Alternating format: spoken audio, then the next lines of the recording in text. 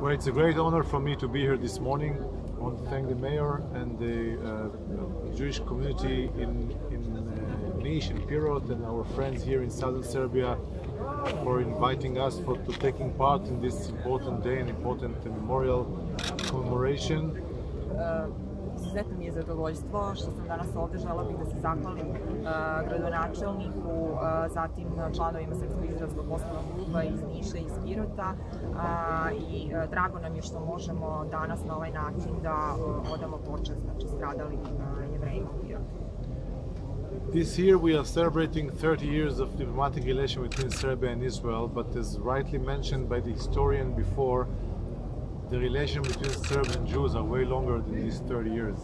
Uh, ove godine obeležavamo 30 godina od uh, uspostavljanja diplomatskih odnosa između i Izraela, a, a kao što je uh, gospodin istoričar spomenuo, ovi odnosi između naša dva naroda sežu mnogo dalje od ovih 30 godina koje obeležavamo.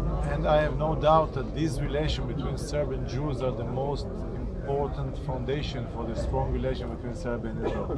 Ovi, tako reći, znači lični odnosi između gra, građana, znači između jevreja i lokalaca, predstavljaju zapravo osnovu za dalje produbljenje odnosa naše zemlje.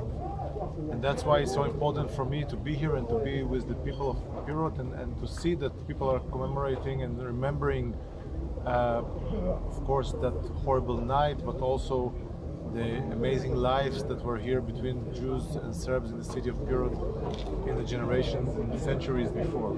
I drago mi što sam danas ovde i među svim znači, običnim ljudima, građanima Pirota koji se sećaju uh, te noći i koji uh, i dalje na ovaj način uh, odaju, odaju počast svojim uh, sugrađanima, jevrejima, tragično stradali uh, te noći, marta 43.